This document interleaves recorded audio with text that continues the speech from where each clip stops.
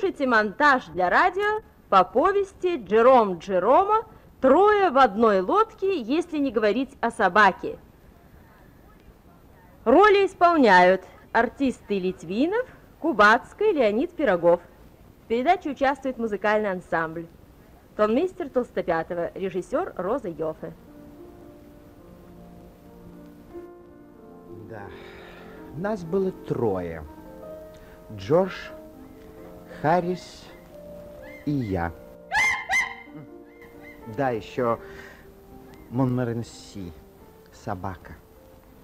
Мы сидели в моей комнате, курили и рассуждали о том, как мы плохи. Да, да, да, да, да, да. С точки зрения медицины, конечно. Э, Харрис сказал, Друзья мои, знаете, на меня по временам нападают такие приступы головокружения, что я буквально не понимаю, что я делаю. да, да, да, да, да, Джордж заметил. Да. Э, У меня тоже бывают иногда э, приступы головокружения.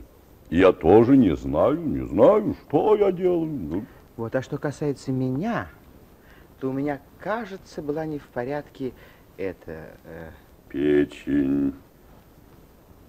совершенно верно, печень. Печень, печень. Все, что нам требуется, друзья мои, это отдых. Отдых. Отдых, отдых, отдых, отдых.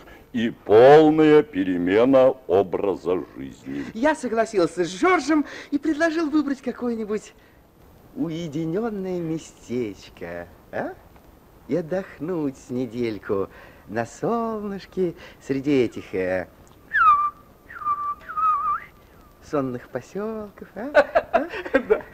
Зная эти э, сонные поселки, забытые уголки, там можно повеситься от скуки. Нет уж, если вы хотите по-настоящему отдохнуть, друзья мои, ничего не может быть лучше путешествия по реке. Прохлада пала вдоль реки, на берег пал туман.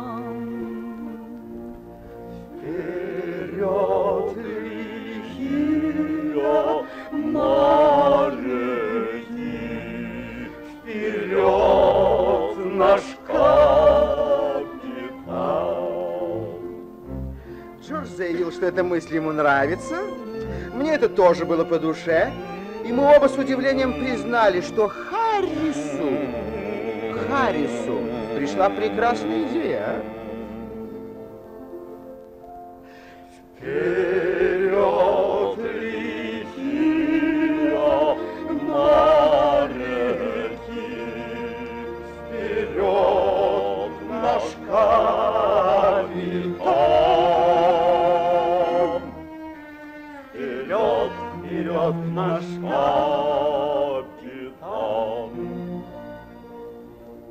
На следующий день мы снова собрались у меня и начали укладываться. Я буду укладываться, заявил я. Дело в том, что я очень горжусь своим умением укладываться. Это одно из многих искусств, которыми я владею в совершенстве.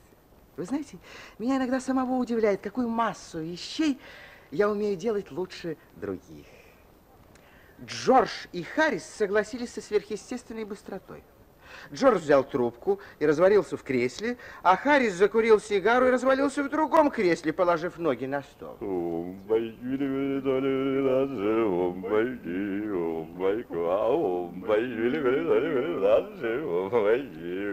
Собственно говоря, я не того ожидал. Я собирался только руководить укладкой, а Джордж и Харрис должны были выполнять мои указания.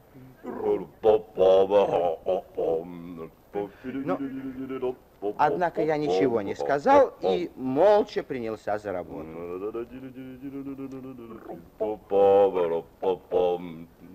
Она оказалась не такой легкой, как я думал. Но, наконец, я все-таки уложил чемодан, сел на него и начал затягивать ремни. Джон, А?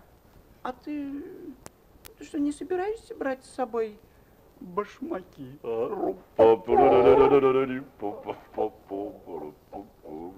Вы понимаете, это, конечно, очень похоже на Харриса. Да-да-да, он и рта не раскрыл, пока я не затянул чемодан.